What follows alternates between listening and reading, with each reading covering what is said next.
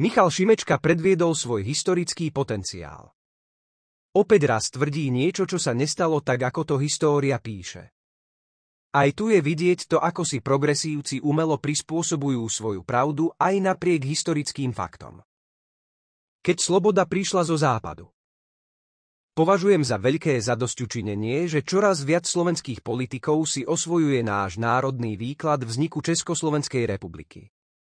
Sú za tým roky úsilia, vysvetľovania, písania článkov aj listov každému jednému poslancovi Národnej rady Slovenskej republiky. Nie je to nejaká účelová interpretácia, ale principiálny postoj opierajúci sa o historické fakty. Veď ani samotný zakladateľ štátu Tomáš Garik Masaryk neoslavoval 28. októbra, ale vznik republiky si spolu s Eduardom Benéšom každoročne pripomínal na Pražskom hrade v úzkom kruhu priateľov o dva týždne skôr, lebo vedel, že keď vydal svoju Washingtonskú deklaráciu o nezávislosti a štáty dohody uznali jeho dočasnú vládu, bolo rozhodnuté. Osobitne ma teší, že tohto roku konečne aj prezident Slovenskej republiky Peter Pellegrini vyzdvihol Martinskú deklaráciu ako samostatný štátny akt, ktorý má pre Slovákov prvoradý význam. Je to veľmi dôležité pre pochopenie toho, prečo naši predkovia konali tak, ako konali a ako sme sa do tohto bodu dostali. No tým sa náprava nášho zdeformovaného historického vedomia nekončí. Vo väčšine slovenskej spoločnosti pretrváva pocit, že v slávnych októbrových dňoch roku 1918 Československá republika jednoducho vznikla. V skutočnosti bola len vyhlásená, no to najhoršie nás ešte len čakalo. Maďari sa totiž územia Slovenska nemienili vzdať a tak kým svetový konflikt sa chýlil ku koncu, na Slovensku sa vojna ešte len začala a tento boj trval 8 mesiacov a vyžiadal si tisíce mŕtvych. V prvom rade si treba uvedomiť, že Rakúsko-Uhorsko nezaniklo vyhlásením Československa, ale až otrhnutím Uhorského kráľovstva od Rakúskeho cisárstva 31. októbra 1918. Admirál Horty neskôr tento krok Károjho vlády označil za strategickú chybu, v dôsledku ktorej Maďarsko prišlo o väčšie územia, ako sa pôvodne plánovalo. Rovnako si treba uvedomiť, že Prvá svetová vojna sa 11. novembra 1918 de jure neskončila. Len sa dosiahlo prímerie, ktoré trvalo ďalších 20 rokov. Preto dnes historici už nehovoria o prvej a druhej svetovej vojne, ale prikláňajú sa k tomu, že išlo o jeden globálny konflikt, ktorý sa podľa niektorých nedoriešil dodnes. Maďarsko reagovalo na politický vývoj na Slovensku po Martinskej deklarácii z počiatku priateľsky. Ponúklo Slovákom právo národa na seba určenie vrátane autonómie. Odpoveď predsedu Slovenskej národnej rady Matúša Dulu na telegram predsedu novovytvorenej Maďarskej národnej rady grófa Mihália Károiho bola síce rovnako úctivá, ale jednoznačná. Slobodný československý národ chce už byť iba dobrým susedom a bratom maďarského národa. Tu si treba všimnúť, že Maďari ponúkali Slovákom viac než Česi. A to bol aj hlavný dôvod, prečo sklamaný Andrej Hlinka presnejšie Úrazený za to, že ho pre jeho výbušnú povahu nikto nechcel zobrať do vlády, odišiel tajne do Paríža, kde v mene slovenského národa, hoci na to nemal žiadne poverenie, žiadal referendum o tom, kam chce Slovensko patriť. Čiže to isté, čo žiadali vo Versailles Maďari, lebo vedeli, že väčšina Slovákov by sa v tom čase rozhodla pre zotrvanie v Uhorsku. Je pochopiteľné, že vznikajúci československý štát to v tomto zraniteľnom období považoval za vlastizradu a uvrhol hlinku do väzenia. Z ružomberského farára sa však okamžite stal symbol boja za slovenskú autonómiu, hoci ešte pred niekoľkými mesiacmi nechal zhromaždený dav na stanici prisahať na jednotný československý národ. Samotné oslobodzovanie územia Slovenska sa však dialo nesmierne chaoticky. Československá republika už síce medzinárodnoprávne existovala, ale ani politicky, ani vojensky, ani diplomaticky ešte nemala Slovensko vo svojich rukách. Niekedy sa hovorí, že ako prví prekročili hranice Slovenska vojaci náhradného práporu 20. streleckého pluku, a to už 1. novembra 1918 o 2. hodine ráno. To však bol ešte stále pozostatok rakúsko-uhorskej armády, ktorý sa vracal zo St. Peltenu do Kromíža a pri zastávke v Hodoníne ho nejakí členovia miestneho národného výboru požiadali, či by neodskočili do nedalekého holíča, ktorý sa v mocenskom váku podobne ako väčšina slovenských miest zmietal v rabovačkách a výtržnostiach. Tak tam urobili poriadok a vrátili sa. No už 2. novembra 1918 vstúpili na Slovensko prvé skutočné československé jednotky. Obsadili Kbely a tamojšie naftové polia, ktoré boli v tom čase strategickým územím. Jediným miestom na území bývalej Habsburskej monarchie, kde sa ťažila ropa, okrem Haliče, ale tá bola vtedy obsadená ruským vojskom. Prvé kroky československých vojakov na oslobodenom území boli až nad očakávanie hladké a úspešné. Pod heslom Kto naň položí prvý ruku, toho bude vpochodovali na niektorých úsekoch do miest bez boja. Keď Vavro Šrobár na čele dočasnej slovenskej vlády a stotiny Slovákov Lučeneckého 25.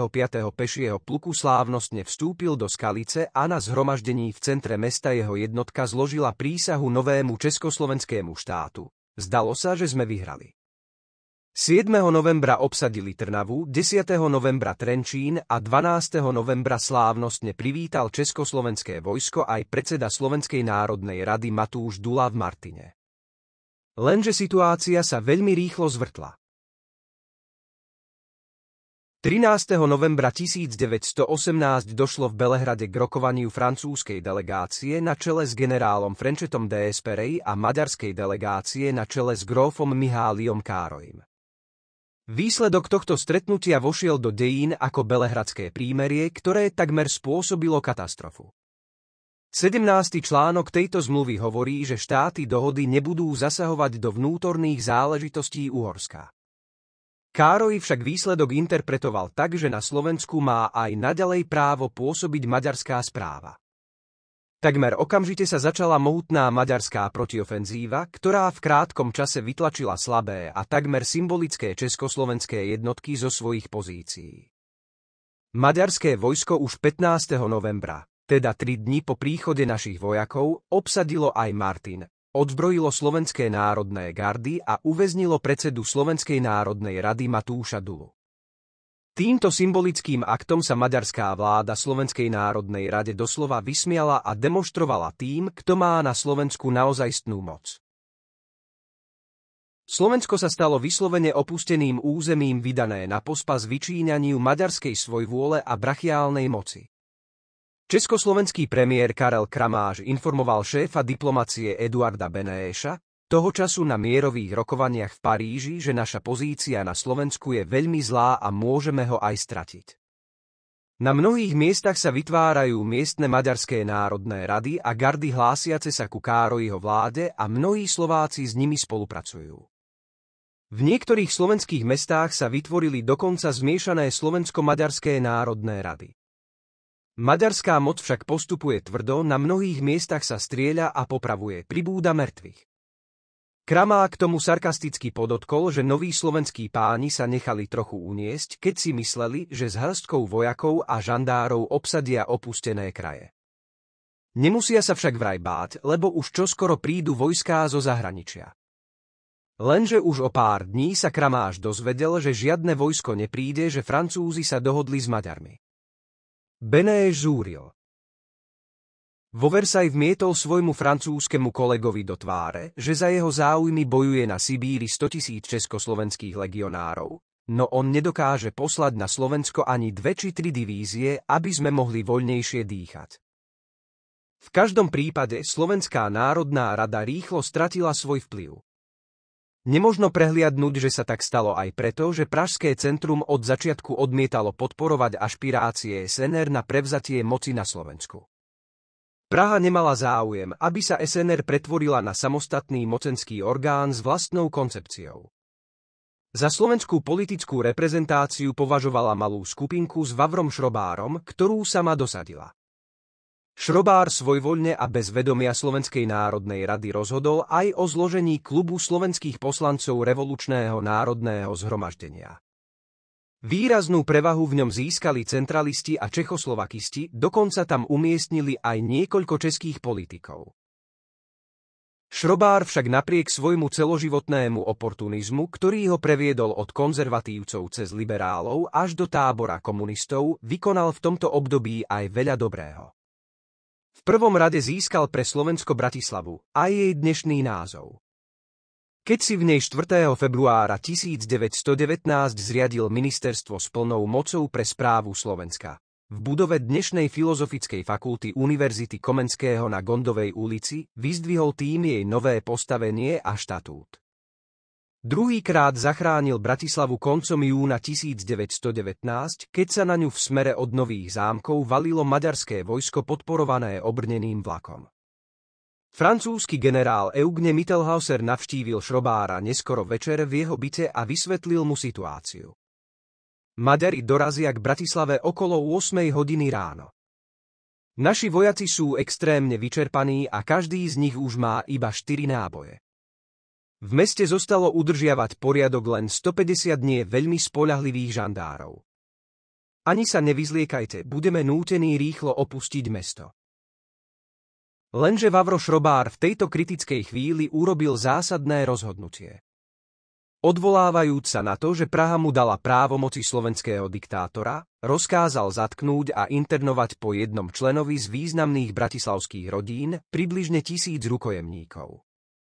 Do rána bol v Bratislave pokoj. Prvá fáza bojov o oslobodzovanie Slovenska trvala do 20. januára. Vtedy sa podarilo dostať pod kontrolu československej vlády celé územie Slovenska a v ten istý deň sa podarilo presvedčiť francúzsku vládu, aby vyslala na pomoc mladej Československej republike svoje ozbrojené sily.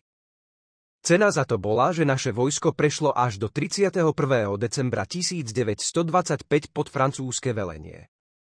Po občasných ozbrojených stretoch došlo 9. mája 1919 k vpádu maďarských bolševických vojsk, ktorý zastihol Československú armádu v zlom stave. V obrane nášho územia vynikol najmä armádny generál Josef Šnejdárek a vtedajší podplukovník Augustín Malár, bývalý legionár z Talianska a neskorší generál popravený nacistami za podiel na prípravách slovenského národného povstania.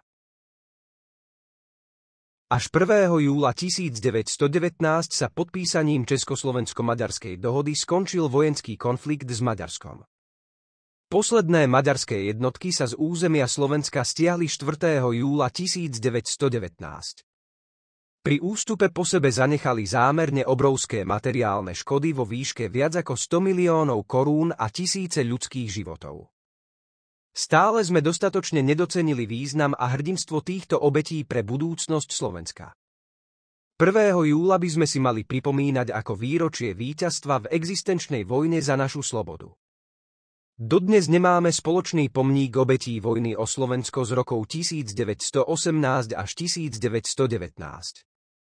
Padlí prevažne českí vojaci neboli pochovávaní na spoločnom mieste tak ako padlí v Prvej svetovej vojne, ale ich hroby sú roztrúsené po celom území Slovenska. Štát by sa mal postarať o dôstojné úctenie si týchto obetí. Veď nám vybojovali slobodu, vlastí budúcnosť. Patrí im úcta a vďaka všetkých generácií. O tom, že progresívci sú úplne zmetení a presadzujú svoju históriu, ktorá sa úplne líši od tej pravej svečí aj prívesok Michala Šimečku. 106 rokov od našej prvej demokratickej skúsenosti. Dnes som si prišiel na námestie Tomáša Garika Masarika pripomenúť 106. výročie nášho prvého demokratického štátu. Po stáročiach nadvlády Rakúsko-Uhorska získali Slovenky a Slováci prvý raz možnosť spolupodieľať sa na riadení národnostne pestrej krajiny s Čechmi, Nemcami, Maďarmi, Rusínmi a Poliakmi. Prijatím demokratickej ústavy boli u nás zakotvené moderné ľudské, sociálne a občianske práva. Za 20 rokov demokracie slovenská spoločnosť urobila obrovské pokroky. Ekonomicky sme sa stali desiatou najúspešnejšou krajinou sveta. Rozvoj priemyselnej výroby pomohol množstvu ľudí vymaniť sa z chudoby a ponúkol alternatívu k ťažkej práci v poľnohospodárstve. V sociálnej a vzdelanostnej oblasti sme sa stali modernou krajinou, najmä vďaka pomoci z hospodársky rozvinutejšej časti republiky. Ľudia sa začali stiahovať z vidieka do miest, vznikli univerzity, nové školy, úrady, sociálne služby. Boli zavedené výdobytky, ktoré sa nám dnes zdajú samozrejmé, všeobecná školská dochádzka, podpora rodín, 8-hodinový pracovný čas, dôchodkové poistenie a poistenie v nezamestnanosti. Ako to už s demokraciami chodí, aj Prvá republika mala množstvo problémov a netreba si ju príliš idealizovať. Postihli ju hospodárske krízy, pokračovalo vysťahovalectvo a regionálne rozdiely boli obrovské. Mnoho národností dokázalo v ČSR relatívne pokojne žiť vedľa seba, no menšiny neboli chránené tak, ako je to dnes. Maďarská menšina čelila viacerým problémom pozemkovej reforme, centralizmu alebo obmedzeniam pri používaní jazyka. Ľudia boli nespokojní kvôli častým hádkam medzi politikmi, búnela korupcia a polarizácia bola obrovská. ČSR bola napriek jej problémom a nedostatkom jednou z mála demokracií v našom geopolitickom priestore a vďaka tejto demokratickej skúsenosti sme mali na čo nadviazať po nežnej revolúcii. Na toto obdobie v našich dejinách môžeme byť právom hrdí.